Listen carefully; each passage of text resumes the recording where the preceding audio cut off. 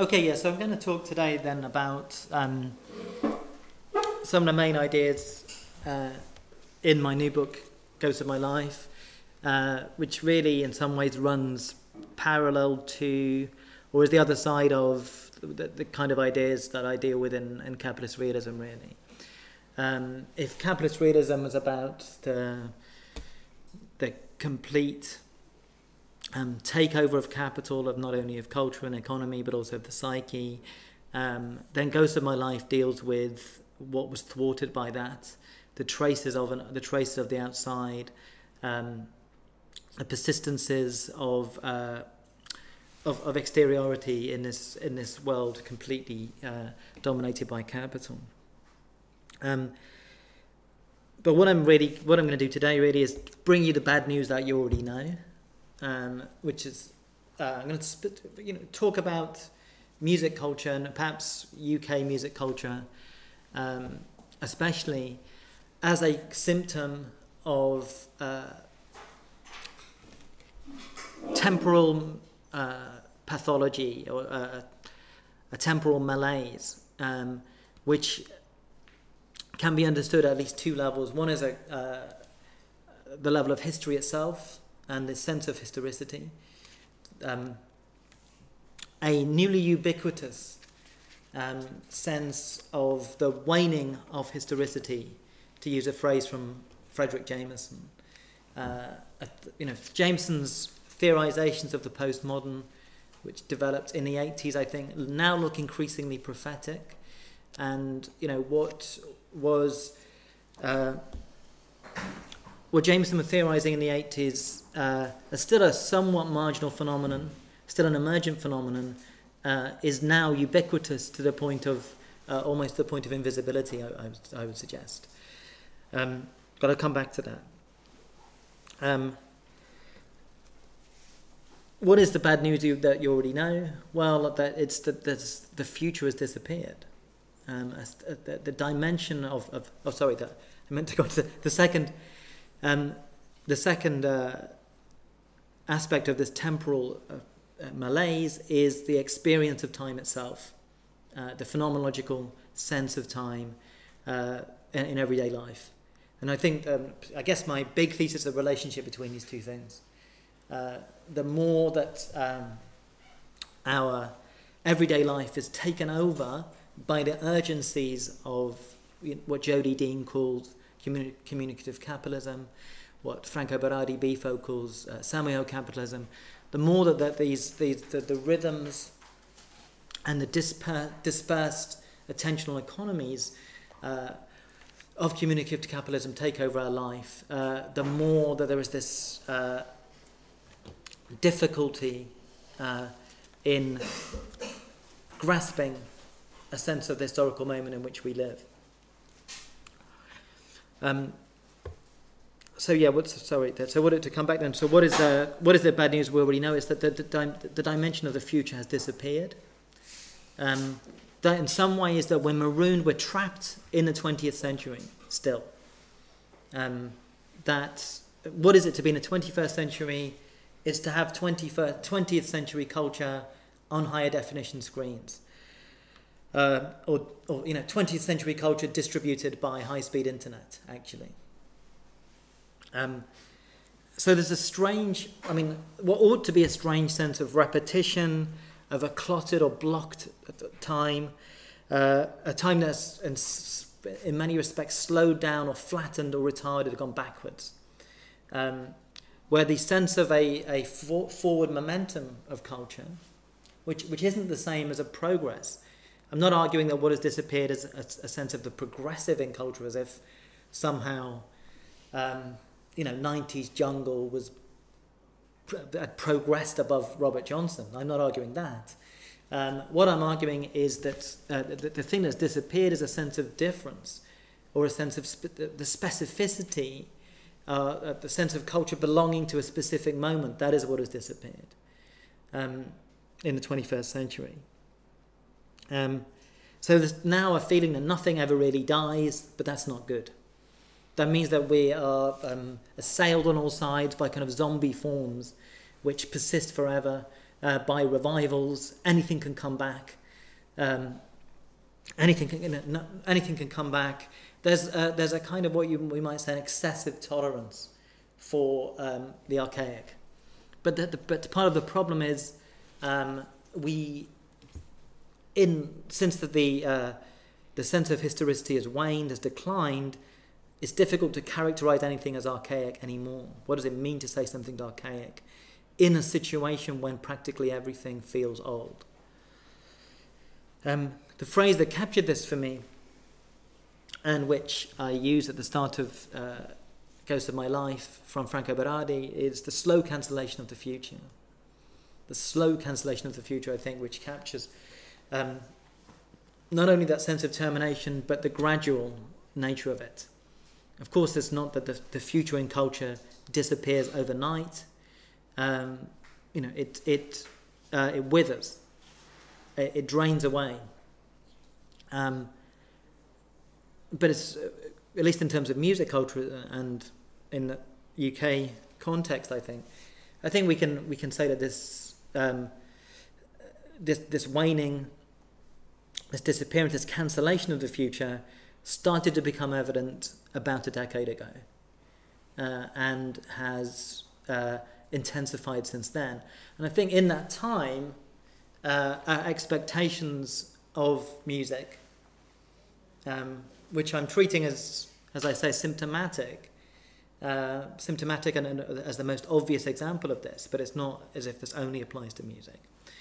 Um, um, our expectations have declined, uh, and this uh, flattening out of time uh, has become more naturalized. Uh, I don't, I don't think we anymore expect music to sound like a radical break from the past. Uh, we expect music now and culture more broadly to be a, um, you know, quite subtle.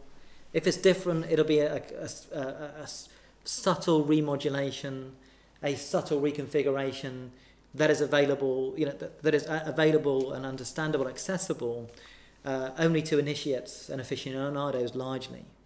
Uh, it won't be some gross sensational shift which uh, is, is, is, is readily apparent to, to anybody. Um, for Berardi, the slow cancellation of the future uh, clearly is not just a cultural thing, it's also a political thing, and of course, the, the, the, the sense of the disappearance of a political future the sense of uh, a, uh, a future which um, would be radically different in political terms from today is, is also part of this. Um, but it's also about um, the disappearance then of uh, a, a, certain linear sense of time, I think, uh, a certain narrative of time. Um, with uh, where you know time is marked in the same way that space is marked. There's a kind of time marks in the way that there are landmarks.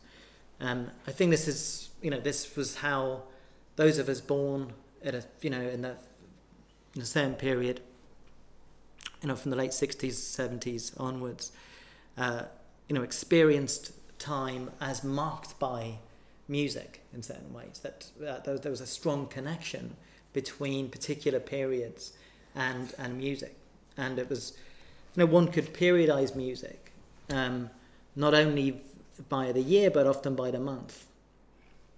Um, and that's and the sense of a rapid supersession of styles, genres, techniques, methodologies, which went along with that. The sense that uh, um, a sense that uh, you know, an, uh, uh, it was really experience of of modernity um, uh, through popular culture. You know, and modernity, as theorized by someone like Marshall Berman, has this sense of permanent impermanence, has this sense uh, that uh, you know all that's solid melts into air, that any particular form will is, is temporary, evanescent, it will be overcome, it will be replaced, it will become obsolete. Um, I, I think the way in which we experience that, not now in culture, but in terms of technology, You know, we experience, we, the, the experience of modernity is now in, in terms of smartphones or iPhones. That's where we have this sense of permanent obsolescence. Uh, in terms of culture, we have the almost opposite now. Nothing is, there, there's no criteria for obsolescence in culture.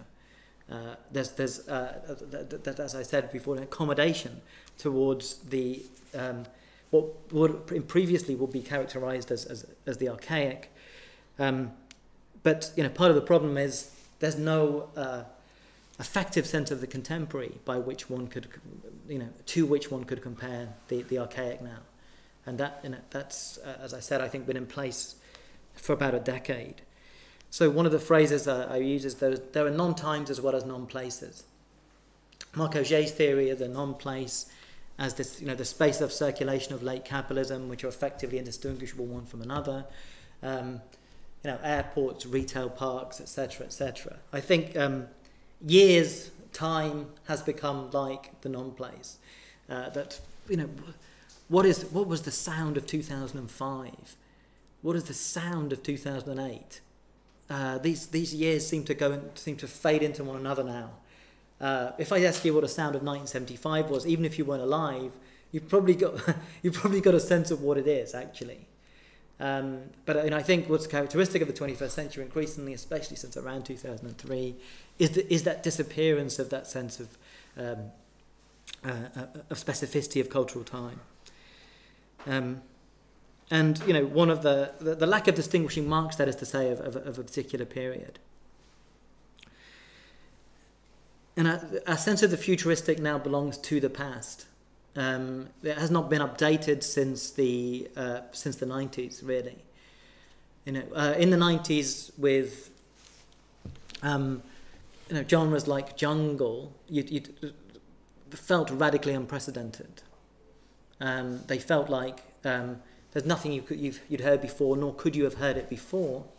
And there was a feeling then of the future rushing in towards us, and we um, uh, being caught up in it. I, I, think that's almost entirely gone now.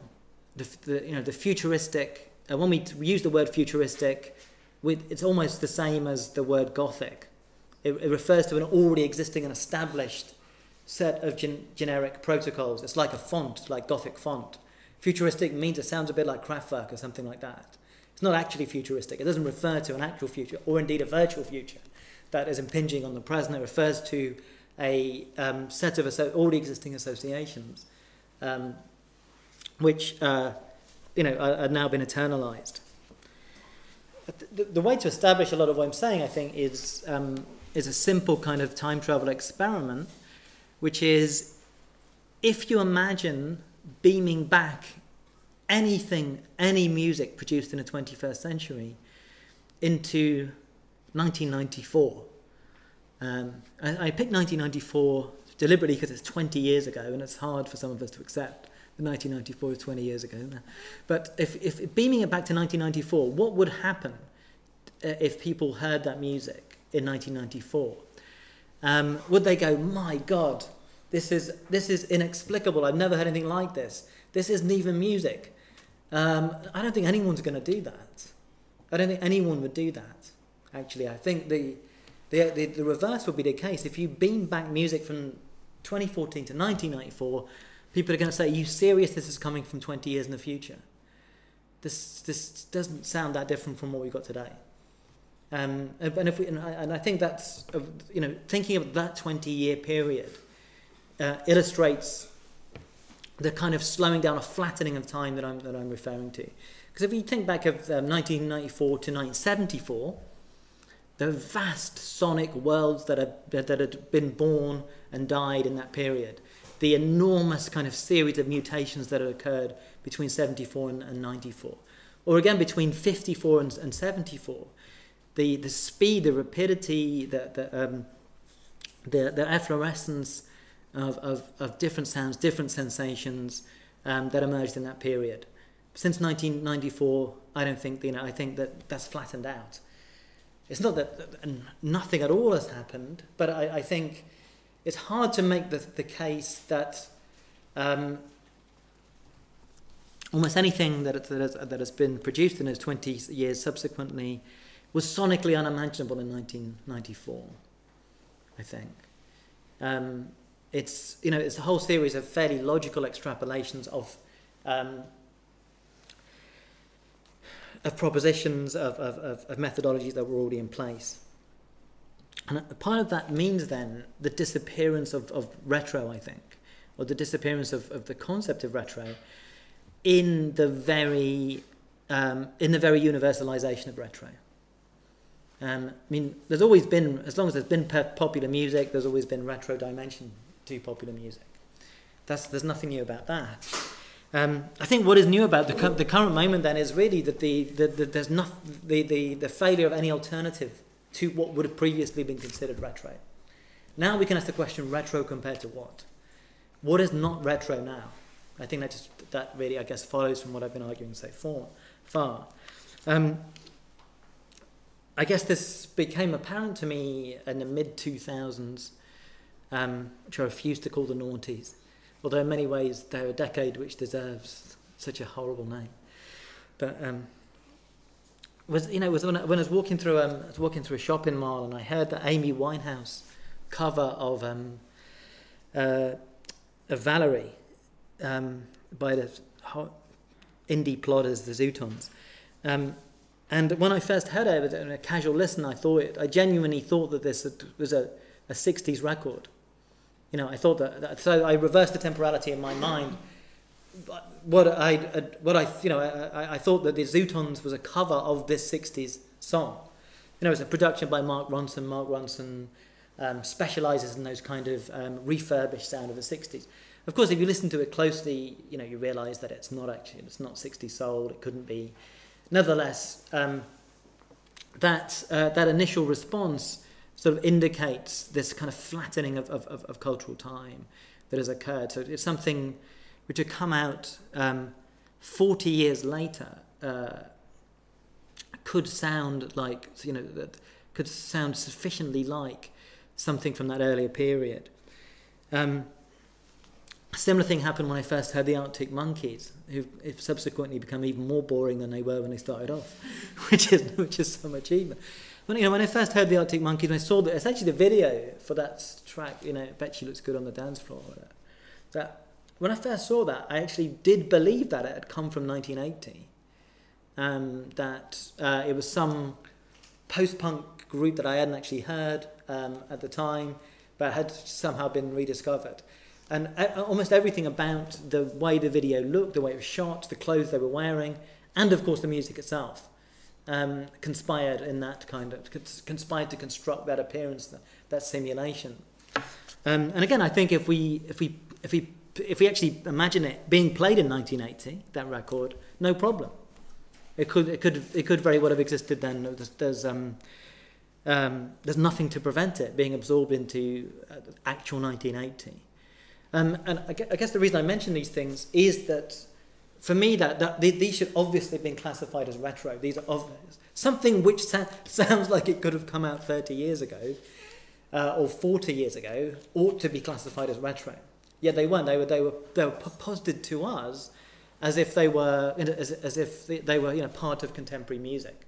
But what is contemporary music then if, the, if it can accommodate music which um, it's not influenced by the past, but which sounds like it really could have come from a you know a, a historical moment of, of, long ago, long ago. I mean, 1980 in you know in in um, 2005, 2006. That ought to have been a very very long time ago. Um, I think part of the reason for this is that uh, we can see the 21st century in many ways as a disaster for musicians, actually. That um, a lot of the developments, uh, of the key developments in the kind of music culture of the 21st century are not, uh, have not been good for musicians, ultimately. They, um, the key technological shifts, you could say, are to do with consumption and distribution of music rather than the production of music. Um, now, it's not like, again, it's not that the 20th century was a, an ideal situation for musicians. It's not that the, you know, the days of record companies, um, advances, etc., was, uh, was a halcyon period. But in retrospect, it's looking better and better, actually, than, than now. Um, because paradoxically, in some ways, big record companies, um, you know, insulated some musicians from market pressure. Actually, they gave them, um, you know, the, the, fact that they were record company advances, the fact they could make money from recorded music, the fact that um, recorded music was a commodity that could actually um, yield remuneration. Um, you know, this this gave this gave musicians some autonomy, and autonomy, I think, which they increasingly lack in in the current moment. Um, I mean, part of the problem is uh, we, we could say that um, a lot of cultural production has been effectively decommodified or um, uh, has become a commodity effectively priced at zero, whereas uh, cultural producers, uh, the things that cultural producers rely on have been hyper commodified, you could say. You know, they still need gas, electricity, and housing. Um, just which I'll re return to. Perhaps the housing is perhaps the principal thing in a, in a city like London, which can explain um, this this this sense of uh, of, of, malaise. Um, but I, I, think the other dimension of this, um, in relation to technology, is that this new technology doesn't yield sensations. You could say um, in the way that previous forms of technology were, music culture. Um, music culture, you know, when you've got um, a wah wah pedal, whatever, you could you could obviously hear that. Uh, you could, when you had samplers, you could hear the effects of samplers. When you had synthesizers, you one could hear them. Um, 21st century, uh, as I say, music uh, technology has certainly mutated music culture but it hasn't mutated it in the level of what, you, what one is actually hearing. You can't really hear this communicative culture. Um, it just facilitates um, the distribution, the, circ the circulation of music. It doesn't change the actual sound of what is produced. Um, so, developing this kind of thought then about why this has happened, um, why we're in this kind of uh, temporal malaise, uh, why in particular it's kind of music culture that, uh, that exemplifies this. Um, the first and obvious explanation then would be the emergence of the internet. And that's, you know, that, that kind of neatly coincides, I think, with um, the time I'm suggesting with when the future definitively disappeared uh, in uh, around about a decade ago. The, you know, when the, the internet became ubiquitous Of course, the internet was there before, but the the uh, the domination of, of our lives by the internet really only started a decade ago. And and this is essentially the argument of Simon Reynolds in in Retromania. Um, and for Simon, the key thing is the internet. What the internet provides is oppressive weight of the past. The ex, you know the accessibility since the uh, with the with the weight of the past on a uh, so easily available uh, to us, um, this makes it harder for, for, for the new to emerge. I think that's partially true. That's partially true, but it's not, it's not enough to explain everything. Um, another I th- I th- remark of Simon's, I think, is, is perhaps more, more telling, which is uh, where, where he says that what's happened in the last few years is that everyday life has sped up, but culture has slowed down. Um, and it's this, I think it's this dimension of speeding up that, um, speeding up, and here's where we come to uh, what I said at this, the outset, this, this second dimension of this temporal pathology, which is, you know, the, the experience of time in everyday life, um, a phenomenology of time. Um, you know, it's this, uh, it, it, for me, and uh, this is not so much just the internet, but I think cyberspace, which is different. Uh, it's really in the last, only in the last few years with smartphones that we're inside cyberspace, you could say. Uh, you know, in, until smartphones, we went to the internet, which we accessed through computers.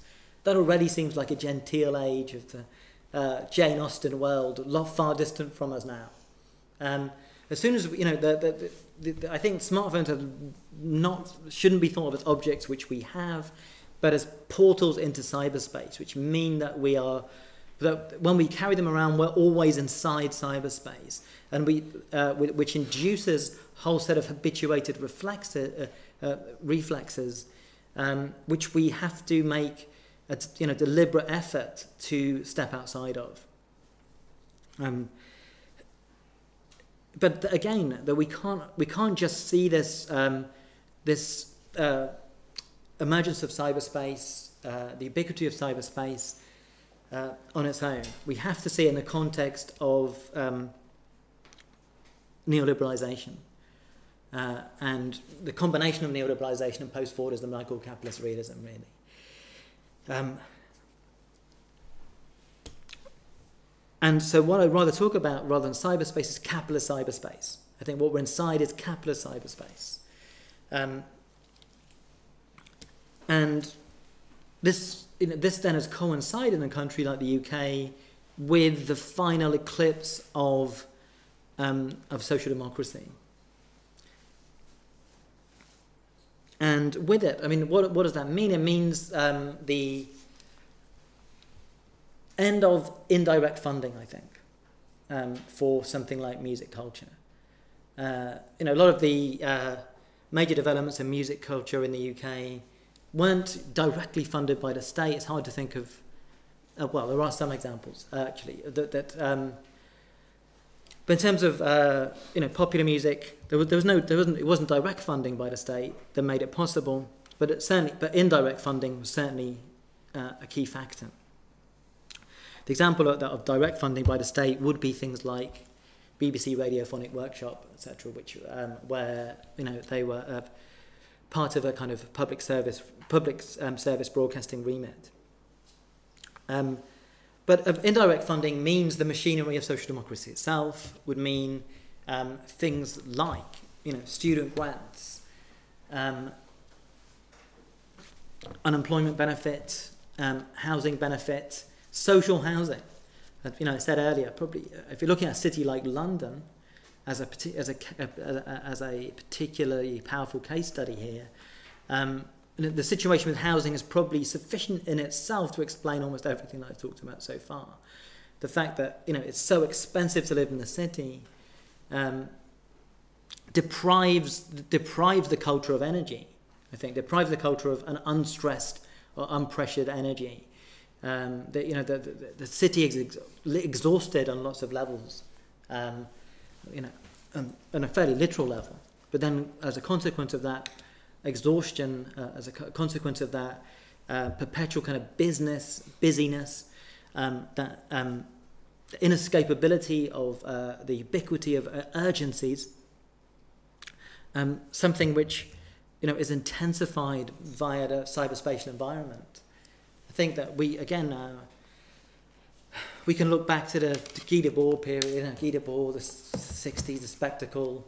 Again, it seems like some genteel period you had to put, put TV on then or um, you know see an advertising billboard in order to be uh, commanded or, or uh, have your nervous system assailed by um, the urgencies of capitalism. Now we now we carry them we carry them around at all times with us. Um, and you know it's important to remember what you know in Deleuze describes communication uh, communication is a command you know, this is when when we open up, we look at our smartphones, we're essentially being commanded, and this uh, is a, a, weight on our nervous system that wasn't previously there. I think we're facing these um, uh, hundreds of commands every day, uh, which we may well ignore them. Obviously, we have to ignore them. We can't possibly follow them all. Um, nevertheless, the strain on our nervous systems it, you know, must be telling at some level. Um, but to come back to then to this uh, social democracy and the indirect funding for culture, I mean, I think one one particularly important example of this in the UK will be art schools. Um, the role of art schools in um, a lot of the major developments of music, certainly from the Beatles, the Who, up to um, post-punk, you know, the art school was uh, a major institution there. Again, it wasn't teaching this stuff directly. Uh, it wasn't teaching people to be in groups and make music. It wasn't about that. Um, but the, the, the institution um, facilitated a circuit, and which was at a particular kind of class dimension to it. Really, art schools in uh, in that period were zones where you know the working class could go, and there was an encounter between um, the working class and the kind of established high culture, avant-garde or experimental um, experimental art scene. And you know that culture was that encounter was highly productive for um, for for, uh, for, for music culture for uh, for popular music culture. Uh, and really, the, with the rise of neoliberalism, we've seen the dismantling of that of that culture and its, its conditions really, and the re-embourgeoisement of art schools. Uh, I guess is what I'm talking about there. Um, um, you know, I guess what you know what would once have happened was you know if you were a working class kid and you said to your parents, "I'm going to art school," uh, they'd say, "No, you're not. you're not wasting your time doing that. You could do something useful." Uh, but uh, you you know the kid, the student had a full grant, had no fees to pay, so he said, "I'm going anyway." Uh, you know, with the introduction of high fees and increasingly high fees, that that's you know, that that space of autonomy is not there. Um, which with the result that art schools are now, once again, as I said, dominated by the bourgeoisie uh, in the UK. And you know, I, I think a result of what I'm talking about, or uh, one another dimension of what I'm talking about, is the the, uh, the stratif- re-stratification of culture. Really, um, one of the things I'm interested in, and the, why I think music culture was significant in in the period, you know, from the the especially from the early 60s up to the end of the 90s. Um, was as a space for what I would call popular modernism, you know, with you know that this art school encounter as, as a kind of engine of that, where you know experimental techniques, um, methodologies, preoccupations, um, were disseminated, extended, um, and furthered, um, and popularized, you know, via via music. I think that's why that's, part of the reason that music was important um, because music wasn't music wasn't just music. Music was a um, a threshold, a portal into a whole other you know set of cultural resources really. Um, and that um, that circuit has closed down. The possibility of popular modernism has closed down, um, and instead we have a return really to a kind of kitsch high culture, which is uh, it's kitsch in the sense that it's it's still there, it persists, um, but it's no longer capable of, um, of generating uh, novelty, um, of, of, producing the new, and a return to a kind of, of lumpen mass culture. Um, and you know that space where they, these two fields were uh, were disarticulated and no, no longer exists in any significant way. Um, you know, so with the with the, with the decline of with the, final decline of final attacks on, on social democracy, and um, you know it's bad enough under New Labour in the UK, but uh, you know in the UK we fell into the uh, fell into the illusion of thinking nothing can be worse than New Labour until we had the, uh, the old Conservatives come back and we found yeah something can be worse than New Labour. And what's happened with the, the, the coalition government since 2010 is uh, the, um, the the picking off, almost systematic picking off of, of, of, of the last remaining elements of um, of social democracy, the the, the uh, you know tax on social housing, a, tax on squatting as well as squatting. Um, the possibility of squatting in a city like London was very important to something like punk. It wouldn't it wouldn't have been possible for for punk is unimaginable in London today because of the housing situation, really. Um, so I think the result of all this then is this embattled sense of time that uh, at the everyday level.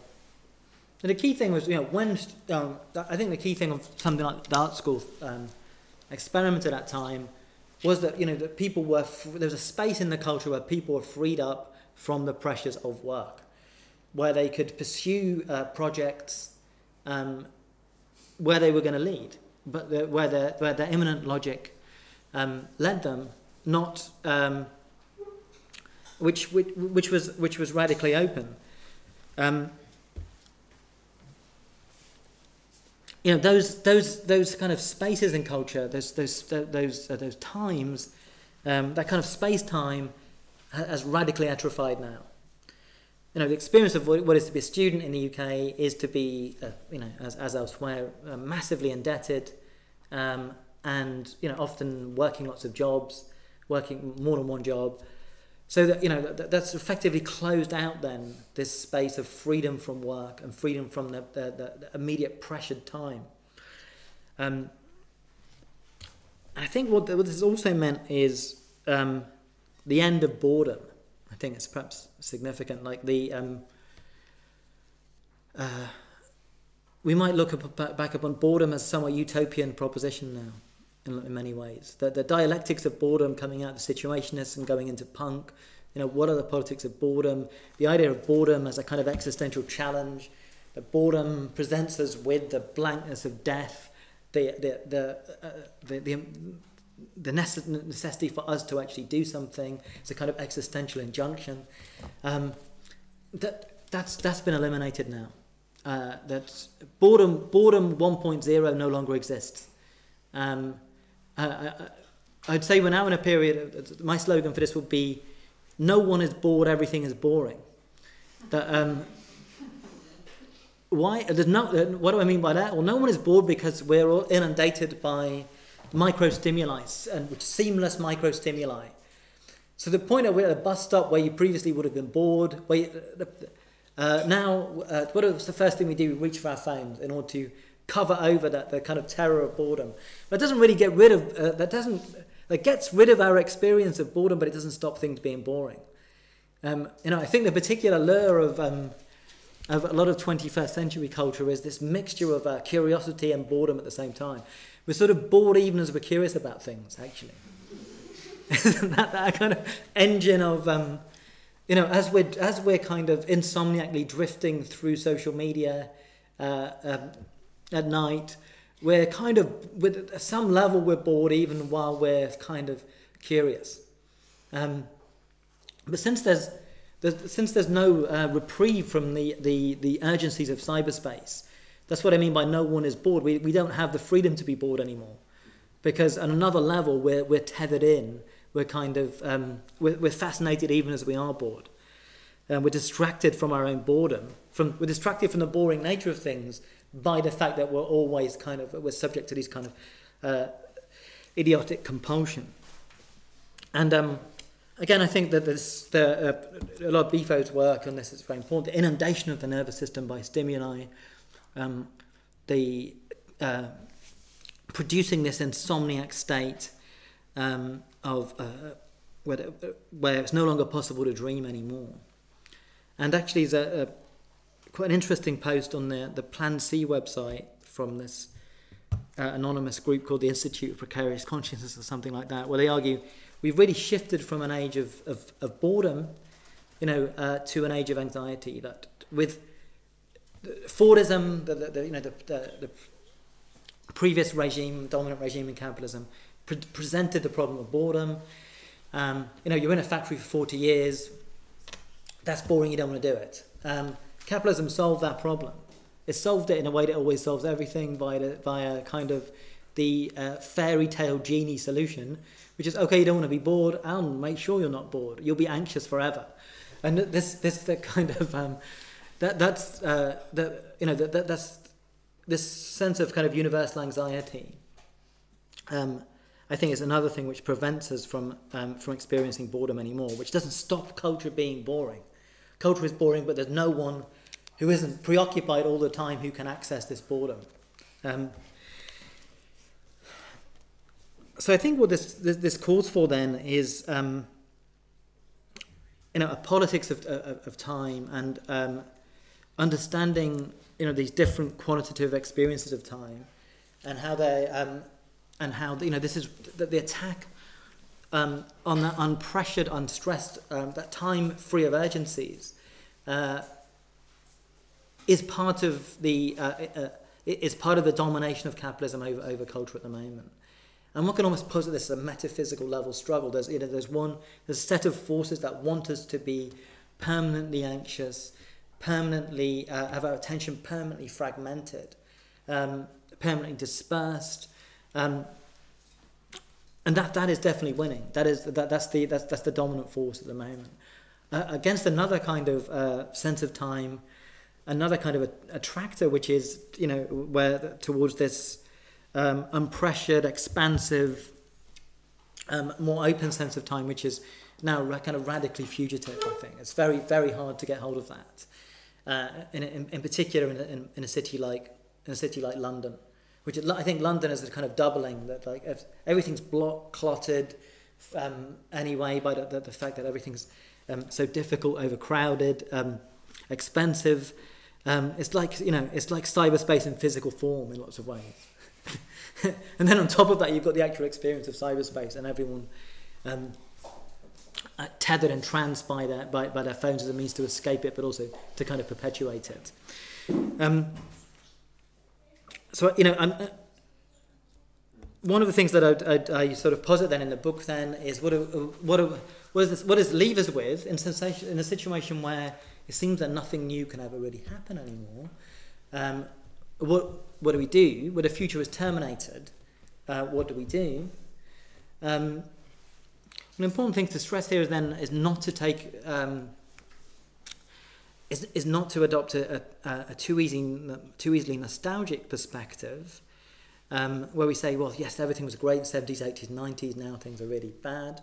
Um, although I think, you know, nostalgia is easily criticised um, when uh, the, the opposite is far less criticised, which is, you know, a credulous, a certain credulousness about the present, actually.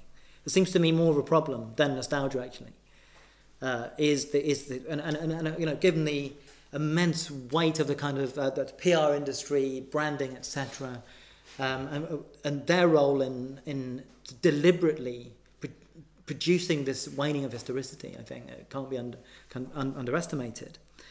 Um, you know, they uh, they're this force which guess this, you know the problem with nostalgia, the culp- nostalgia in a culpable sense, will be that makes us overrate the past but I think that it, the, the, the problem we've got is overrating the present in lots of ways and underrating our own dissatisfaction with it, which we're invited to do, which we're pressurized to do in lots of different ways. Um, so what, uh, rather than invoking an actually existent past and comparing it with the present, I think it's, uh, I think the, the, the point of, from which we can criticize the, the current moment, the point at which it can be found wanting, is by the, the is in terms of the futures that were projected from the 20th century, not the actual existing past. You know that it's the the shocking difference between uh, what we thought might have happened um, and what what actually has happened, which can be revealed by that, uh, that experiment I suggested, where we beam back something in time. Um, and in, the face of that, I think we're almost offered uh, uh an opposition between a certain kind of politicized melancholia and uh, depression, actually, which is not, not necessarily a, not that nice a choice at the moment. But I mean, okay, what I mean by politicized melancholia, politicized melancholia would be a refusal to adjust to the, the present moment. A refusal to adjust to this to say, I can't accept this. And that's fundamentally what I feel when I turn on the radio, actually. I turn it on, I sort, I sort of quite like this, you know, whatever track it is. Sort of quite like it, but it's not acceptable you know, this, uh, this, uh, this, I can't adjust to the fact that this sounds like it could have come out 20 years ago. It isn't just boring rock music now, it's dance music as well, whatever. That, um, I, you know, you can't adjust to it. And uh, even if it's going to carry on forever, I think uh, I'm going to refuse to adjust to a, uh, refuse to adjust to a time when it's, when it's acceptable for, um, for things to be so anachronistic. The alternative to that, I think, is, is, is a kind of just depression, is a kind of naturalized depression, where we just accept that um, nothing new is ever going to happen, but it's not a problem anymore. Um, and, and, you know, and often the, this logic of depression uh, takes over where not even people say, well, you know, nothing new is going to happen now, so what? Yeah, did anything new ever happen in the past anyway? you know, it's kind of overrated. Things weren't really that new ever before. We start bargaining ourselves down, not only about the present, but about anything that's ever happened before. So I, I you know, I, I suggest that this is, you know, that, then that's part of the overrating of the present, actually, in certain, in certain ways, is that, that those tendencies. Um, so one of the things I explore in the book then is these, um, strains of, uh, of melancholic maladjustment um, as, as one strategy for this, the refusal of a present which is not really a present, and refusal of the failure of the future. Uh, and you know, the, one of the threads that I try and pull on is this is this longing, this yearning for a future in conditions where the future can't be delivered. Um, and, I, you know, and, I, and, and what I, I guess what I think that is that is the authentic articulation in, in the present. Is not one can't by force of will alone create a sense of the future. Um, we have to accept that the conditions which allowed a sense of futurity, you know, have really been attacked, and it's voluntaristic um, action can't put that right. Have really been attacked. They've really radically deteriorated. Um, yet, uh, you know, if we're not to accede, if we're not to completely submit to this this present where the future has disappeared, um, you know, what remains is a, is a certain set of longings, um, yearnings, etc. And it's a kind of fidelity to those yearnings and longings that uh, is one of the things that I track in, in, in the book, really. Um, okay, we'll leave it there if, uh, if, that, if uh, seems a point, a point to end on, if that's okay. Okay, well, thanks everybody.